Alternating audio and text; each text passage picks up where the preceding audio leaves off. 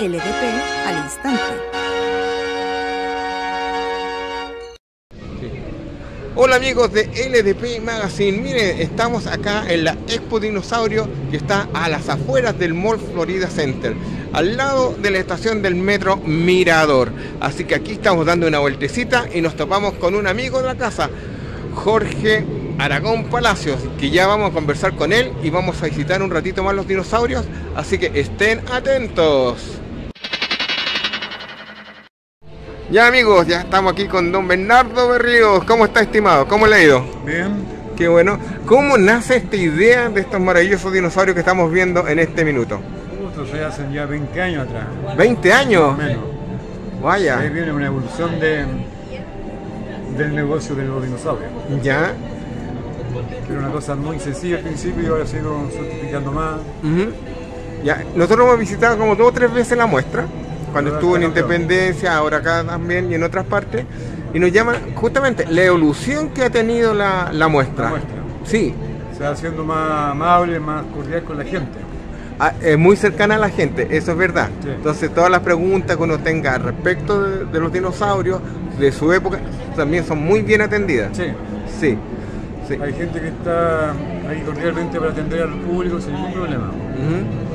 ¿Cuál, cuál es el horario que estamos funcionando acá? De martes a viernes de 3 a 7 y media, sábado, domingo efectivo de 11 a 7 y media. Perfecto. Ya. eh, ¿Hasta cuándo van a estar ustedes funcionando? Hasta el 28 de mayo. Hasta el 28 de mayo. Entonces queda poquito tiempo para que Sí, los amigos vengan. más. Entonces que aprovechen y vengan Sí, por estos lados. Aprovechar que hay buen sol. Sí, pues. Sí, sí, sí. Y mañana hay oferta el Día de la Mamá. por Mañana el sea. día de la mamá no, no pagan las mamás. Perfecto. Mañana el día las mamás entran gratis. Perfecto. ¿Y cómo nació este amor por los dinosaurios o simplemente le nació como eh, un emprendimiento por el lado de los dinosaurios? Es un emprendimiento y un amor también por los dinosaurios, eso es parte del dueño. ¿Ya? ¿Es, es paleontólogo, o coleccionista o, o fan? de- de un, un fans. Un fan, un fan, fan del... Y bueno, sí, aquí desde chiquito todo el mundo se va acostumbrando a ello. Ya pues, vamos a visitar la muestra y vamos a ir a hablar. Un gusto. Muy amable, gracias. Hasta luego. Hasta luego. Ya amigos de LDP Magazine, estamos con un amigo en la casa y parte de los panelistas de Kaiju Egan Company, Jorge Aragón Palacios, que está de guía acá en la Expo Dino. ¿Cómo estás Jorge? ¿Cómo te ha ido?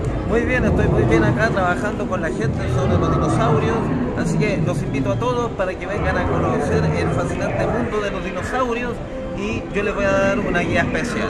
¿Qué eh, tenemos acá, por ejemplo? Acá no tenemos el Aquilosaurus. Tenemos el anquilosaurio, tenemos el, el tiranosaurio, el triceratops, el estegosaurio, tenemos un pterodáctilo también, tenemos una serie de, de dinosaurios que van a ser bastante entretenidos para la gente, un movimiento y algunos a tamaño natural. Así es. ¿Cuáles son los de escala natural que tenemos aquí? ¿Cuáles son los de escala natural? Hasta el momento el que está en la esquina es el, el- el más preciso. El más preciso. A a escala real. Miren, y se mueve, chiquillos. No está tan tieso como otros animatrónicos que nosotros hemos visto. Estos son bastante buenos, hay que decirlo, se mueven bastante bien. Así que no, no se los pierdan y vengan a ver que aquí hay mucha gente que está en este minuto paseando y aprovechando este día sábado muy muy caluroso. Ya, vamos a seguir con la muestra con Jorge y de ahí vamos a conversar un poquito más.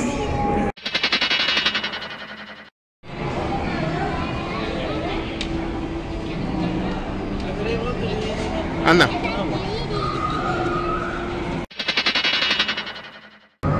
Bueno, aquí estamos frente ahora a un Carnotauro.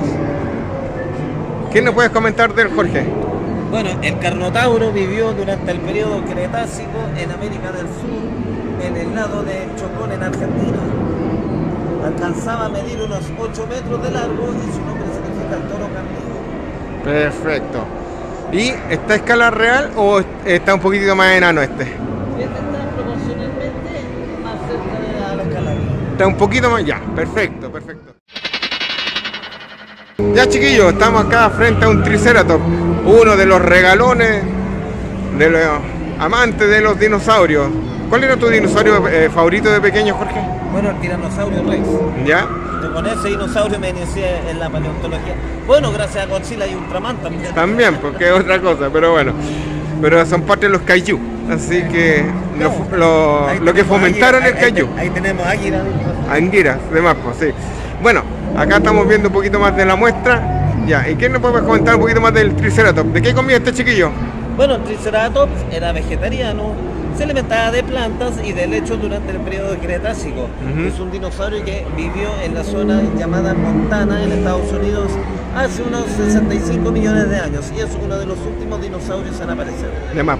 Oye, Jorge, a todo esto, toda la gente piensa, porque son vegetarianos, eh, tienen la idea marcada que son mansitos, que no hacen ninguna cosa, pero en realidad eh, igual eran. Anda, tomarte con esto en la calle. No, bueno, cualquier animal vegetariano son tranquilos a menos que se vean, se vean asustados. Amenazados. Amenazados. Si de hecho hasta una vaca puede matar a una persona. sí. Correcto. Bueno, el del lago también es vegetariano, el estegosaurio, pero el estegosaurio la gracia que tenía un, Una cola armada. una cola armada, justamente, con cuatro pinches que esa era su arma de defensa. Ya, estamos acá en la parte más entretenida de la muestra, que donde los amigos se pueden llevar recuerdos de la, esta exposición de dinosaurios. ¿Qué nos encontramos aquí, señorita? Bueno, tenemos como lo más barato, son los dino huevos, que hay muchas variedades de dinosaurios. Eh, están los huevitos Lego, que son armables, estos también son armables, pueden venir así, también son sorpresas. Estos no son sorpresas porque pueden ver que el esqueleto con el, el escenario. Así es, sí. Estos son huevitos Crescencio que rompe el cascarón y luego sale el dinosaurio como de este tamaño y crece así. Ah, qué interesante. Y estos son de yeso. Uno los pica con una herramienta que nosotros pasamos acá. Puede salir cualquiera de estos dinosaurios. Entonces como para que jueguen ahí a escarbar y encontrar el dinosaurio. Para los amantes que quieren ser paleontólogos. Sí. Justamente, sí. Existen juegos completos de paleontología que vienen justamente con los huevos, vienen con los implementos. Y si ustedes ya tienen los implementos y se aburrió de seguir machacando lo que tiene en la casa, aquí ya encuentra algunos para que sean bastante entretenidos. Y tenemos algunos pijamas también, pues. Enteritos. ¿Mm? Cierre para poder ir al baño también. También, pues, sí. Están súper lindos. Estos también, que son disfraces de cartón. Atan y queda como tipo corpóreo. Están así perder. Sí, están súper buenos, súper buenos. Ya, pues entonces dejemos a toda la gente invitada porque hasta el 28 de mayo, ¿verdad? Y hasta el 28 de mayo vamos a estar en la Expo Dinosaurio. Perfecto. Ya pues, un gustazo y, no, y están todos invitados. Ya. Bueno, aquí estamos frente Al tiranosaurio Rex. al rey tirano. Bueno, ¿y qué sabemos de este chiquillo, Jorge? Bueno, acá tenemos al Tyrannosaurus Rex, cuyo nombre significa rey lagarto terrible. Vivió en América del Norte a finales del periodo Cretácico. Es un dinosaurio que alcanzaba los 13 metros de largo era tanto cazador como carroñero. O sea que se alimentaba tanto de animales vivos como de animales muertos. Las últimas investigaciones indican que ellos tenían plumas. Exacto, bueno, la última investigación dice que estos dinosaurios tenían labios. ¿Tenían qué? Labios. Labios. Eran besucones. No, labios porque supuestamente los dientes no saldrían hacia afuera cuando cerraba la boca. Mira, buen dato, buen dato. Ahí ya saben, chiquillos, tienen un buen dato ahora. Y como les digo, miremos un poquito. Hay gente recorriendo la muestra. ¿Qué te ha parecido la muestra, Golet? Bien, ¿Ha estado entretenida? sí. Sí. Estoy pintando ¿Y, tu y el guía cómo te cayó? Mamá, ¿Bien o este ya está. Sí. Colet, ¿cómo te cayó el guía? Bien, Sí. ¿Algunas recomendaciones para los amigos del LDP que vengan a la muestra? sí. ¿Qué les quiere decir a ellos?